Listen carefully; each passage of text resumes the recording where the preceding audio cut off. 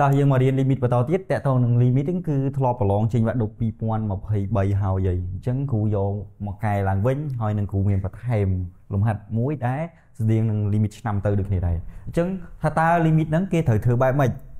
ដើម្បីឲ្យយើងហ្នឹងវាមានភាពងាយស្រួលនៅពេលប្រឡងហើយចំណេញពេលទៀតអញ្ចឹងដើម្បីកាន់ឲ្យ កាន់តែឲ្យងាយស្រួលនៅក្នុងការធ្វើ limit ដូចយើងដឹងហើយវាតម្រង់ទូទៅគឺដើម្បីកណនី limit ឬក៏របៀបមួយចំនួននៃកណនី limit គឺយើងត្រូវយកតម្លៃ x ខិតចិត្តរបស់វាទៅចំនួនចូលសិនហើយពេលចំនួនចូលឃើញរៀងឬក៏គ្មានរៀងយើងធ្វើទៅតាមនឹងបន្តទៀតតោះអញ្ចឹងគ្រូយក anon ទៅចំនួនចូលអញ្ចឹង x ខិតចិត្ត anon អញ្ចឹងកន្លែងនេះគឺចំនួន anon មកអឺអញ្ចឹង x ខិតចិត្ត anon នៅពេលដែល1នៅលើ x គឺវារួមទៅរក0ហើយអញ្ចឹងគ្រូអាចសរសេរបានលិននៃ1បូក0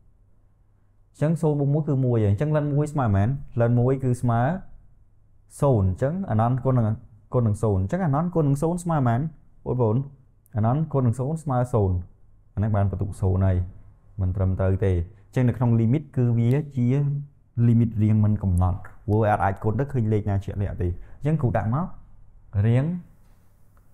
anon គុណនឹងគុណនឹង0អញ្ចឹងប៉ុណ្ណឹងអញ្ចឹង យើងក៏លេខមកមើលវិធីសាស្ត្រនៅក្នុងការកណនា limit បែបហ្នឹងថាយើងទៅធ្វើបែបម៉េចព្រោះយើងដឹងរៀងហើយថាវារៀងអណន្តគុណនឹង0អញ្ចឹងយើងត្រូវធ្វើបែបម៉េចដើម្បីឲ្យឃើញចម្លើយឲ្យលឿនអញ្ចឹងចំពោះការធ្វើគឺយើងប្រើវិធីតាំងដោយគុណតាំងឆ្លាស់វាអញ្ចឹងគូតាំងអីគេតាំងទេស្មើនឹង1នៅលើនៅលើ x តាំងចម្រាស់ដោយសារ x វាខិតចិត្តអណន្តអញ្ចឹងយើងត្រូវបំលែងធ្វើម៉េចឲ្យ តម្លៃខិតជិតរួមទៅរកលេខម្ដងអញ្ចឹងដូចយើងប្រើ limit អញ្ចឹង limit x ខិតជិត0នៃ1នៃ len x បូក1នៅលើ x គឺស្មើ1អញ្ចឹងធ្វើម៉េចឲ្យតម្លៃខិតជិតខាងក្រោមនេះវារួមទៅរកតម្លៃលេខ0នេះយ៉ាង1អញ្ចឹងទៅតោះអញ្ចឹងយើងឃើញអញ្ចឹងយើងតាមមកទេស្មើ1នៅលើ x អញ្ចឹងគ្រូអាចទាញបាន x ស្មើប៉ុន្មានអញ្ចឹងច្រាស់វិញគឺ1នៅលើ1នៅលើទេ អើយើងបដូរអញ្ចឹងយើងតាំងហើយយើងត្រូវបដូរអាខាងក្រោមវានេះអញ្ចឹងបើ x យើងខិតចិត្តមែនបើ x យើងខិតចិត្តបូកអណន្តនោះទេយើងខិតចិត្តមែនយើងសាកគិតមើលអញ្ចឹងយើងសាកយកទៅជំនួសមក1លើអណន្តមក0អញ្ចឹងមានន័យថាទេយើងរួមទៅរកទៅរក0អស់ហើយប៉ុណ្ណឹងអញ្ចឹងពេលយើងតាំងហត់យើងដាក់មកអញ្ចឹងគេបាន limit រូបរាងថ្មីហីដែលយើងអាចបដូរឬក៏ប្រែប្រួលវាអា limit x ខិតចិត្តមែន ដំបូង x ខិតចិត្ត anon បដូរពី x ខិតចិត្ត anon មក t ខិតចិត្ត0អញ្ចឹងយើងត្រូវដាក់ t ខិតចិត្ត0នឹងមុនជានិច្ចអ t ខិតចិត្ត0ហើយអញ្ចឹងបើកន្លែងនេះ t គឺត្រូវកន្លែងនេះ t t ទាំងអស់អញ្ចឹងយើងមកមើលអញ្ចឹងកន្លែង x ចំនួនដោយមែន1នៅលើ1នៅលើ1នៅលើ t បន្តមកគុណនឹងលិននៃ1បូកអញ្ចឹង1នៅលើ x នេះយើងតាងឲ្យ1នៅលើ x ស្មើគេស្មើតម្លៃ t អញ្ចឹងគ្រូអាចដាក់1បូកបូក t ប៉ុណ្ណឹងអអស់នៅប៉ុណ្ណឹងយើងគុណតទៀតមកយើងលើកដាក់មកទេខិតចិត្ត0លិននៃ1បូកទេនៅលើទេអញ្ចឹងចូលរូបមន្តរបស់យើងអត់ស្មើមែនអញ្ចឹងគឺស្មើស្មើ1អញ្ចឹងខ្លីជាប់អត់ហើយអញ្ចឹងយើងដាក់ដាក់មកដូចនេះដូចនេះ A របស់យើងគឺស្មើ1មានន័យថា limit ទាំងអស់ហ្នឹងគឺរួមទៅរក1បើយើងយក anon គុណ0ស្មើ0បានបន្ទុក0បានហើយណែរបស់គេ1នៅលើតោះណាប៉ុណ្ណឹងអញ្ចឹងយើងអាច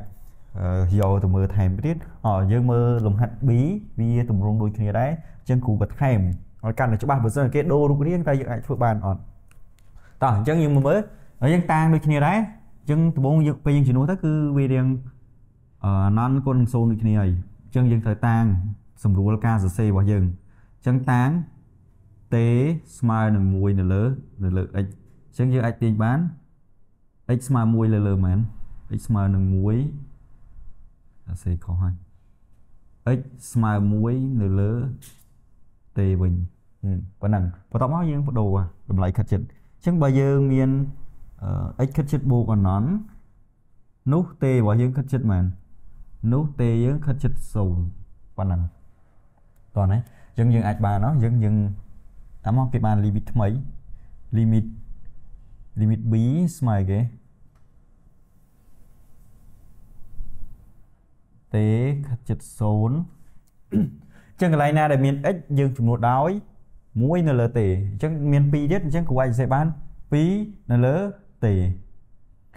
គុណនឹង limit នៃ1បូកអញ្ចឹងគ្រូអាចយកនេះទៅបំបែកតិចមកគ្រូអាចមាន1000មែន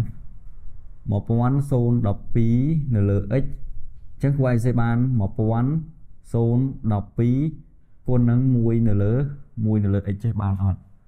បានអត់ធ្វើឲ្យហ្នឹងអញ្ចឹងប្រកាសជាបានហើយដោយសារតេតងប្រមាណវិធីគុណអញ្ចឹងប្រមាណវិធីគុណគុណនឹងវិភាគគឺយកចំនួនហ្នឹងគុណនឹងភាគយកវាទៅអដល់ពេល1នៅលើ x ចំនួនដោយអីគេ1លើ x ចំនួនដោយទេអញ្ចឹងអាចសេបាន 1012ទេអញ្ចឹងគួរអាចសេបាន1012ទេហើយហើយណាប៉ុណ្ណឹងអញ្ចឹងយើងសរសេរបន្តទៀតមកអញ្ចឹងគួរអាចសេបាន limit t ខិតជិត0នៃ2គុណនឹង limit គុណនឹង ln នៃ1បូក2000សំទោស1012ទេនៅលើ ទេអញ្ចឹងយើងដូចគ្នាដែរអញ្ចឹងយើងអាចសង្កេតមើលបើសិនជានៅខាងក្នុងនេះមានម្ដុំប៉ុណ្ណាអាខាងក្រោមក៏ម្ដុំដូចគ្នាដែរហើយតម្លៃរួមគឺស្មើមួយដូចគ្នាអញ្ចឹងខាងលើមាន1012ទេអញ្ចឹងខាងក្រោមគួរមានប្រមាណដែរអញ្ចឹងយើងត្រូវថែមធ្វើម៉េចឲ្យតម្លៃលេខខាងមុខដូចគ្នាដែរអញ្ចឹងគូបន្ថែមគូបន្ថែមមកអញ្ចឹង limit t ខិតជិត0នៃ2គុណនឹង ln នៃ1បូក2បូក1012ទេនៅលើនៅលើទេអញ្ចឹងយើងនៅខ្វះតម្លៃមែន1000មែនខ្វះ1012 12ទេអញ្ចឹងគឺគុណនឹងម៉ានវិញគុណនឹងភាគយក1012 12វិញបងណាអញ្ចឹងយើងឃើញថាតម្លៃនេះស្មើម៉ាន គឺស្មើ1អញ្ចឹងយើងអាចសេបាន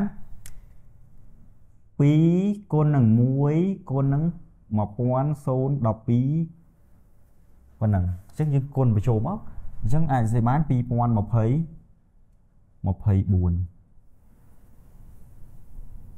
ហ្នឹងតម្លៃ limit b របស់យើងប៉ុណ្ណឹងអញ្ចឹងដើម្បីឲ្យកាន់តែច្បាស់ លើ limit ទាំងពីរហ្នឹងតើបងអូនយកទៅធ្វើឡើងវិញឲ្យបានច្រើនដងពេលយើងយល់លំហាត់ប្រភេទបែបហ្នឹងទៅយើងទៅធ្វើលំហាត់ផ្សេងទៀតក៏ងាយយល់ដែរហ្នឹងអញ្ចឹងចំពោះគ្រូគ្រូចែកម្លេចមានប៉ុណ្្នឹងទេហើយបងអូនយកទៅធ្វើបន្ថែមហើយកន្លែងមកវិញសិស្សបងអូនថ្នាក់ទី12ថ្មីចាប់ដើមចូលរៀនហើយអញ្ចឹងអ្នកដែលចង់មករៀនទី12ដើមឆ្នាំអាចមករៀននៅសាខា2នៅផ្សារដើមស្កៅបានអញ្ចឹងបងប្អូនអាចមករៀននៅលឿនលឿនដើម្បីបានទេអេដូចគេអញ្ចឹងគ្រូមានប៉ុណ្ណឹងបាយបាយ